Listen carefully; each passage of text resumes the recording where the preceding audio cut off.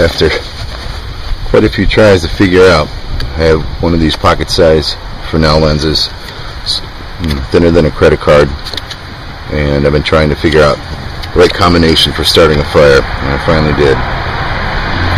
But I start off with some dark leaves, and the dark is important because it absorbs the, the sunlight more. Inside, of, you know, th three or four very dry leaves, I put a, some broken twigs, and then some very dry pine needles.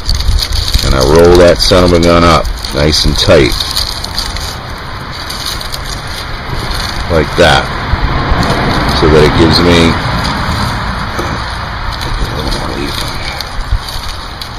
a nice flat surface on one side.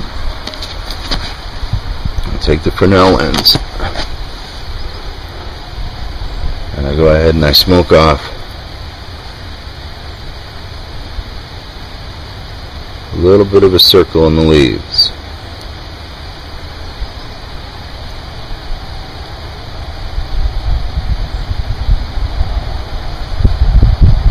Once I get it so that that circle's in the leaves, I give it a little air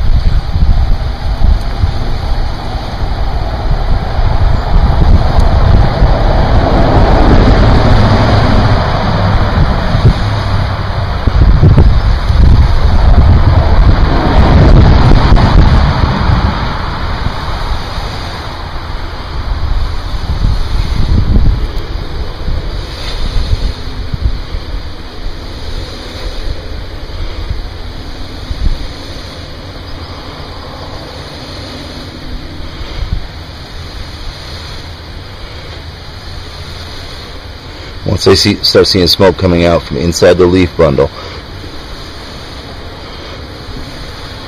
rotate it up.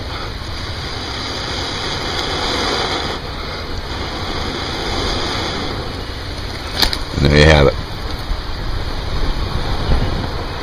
I've tried a bunch of different ways to figure this out. This is the best way to do it. You burn a little circle in the leaves so that you get down into the tinder start applying air without removing the, the sunlight. Once you see that it's producing its own smoke, rotate it up to capture the air that you're you're um, you're blowing on, and then blow it into a flame.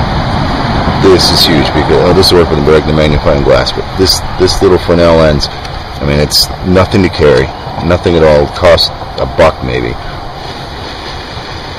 I'm in a morning sun right now. It's a good sun, but it's not like high noon. It isn't the best sun in the day. Produces a lot of heat.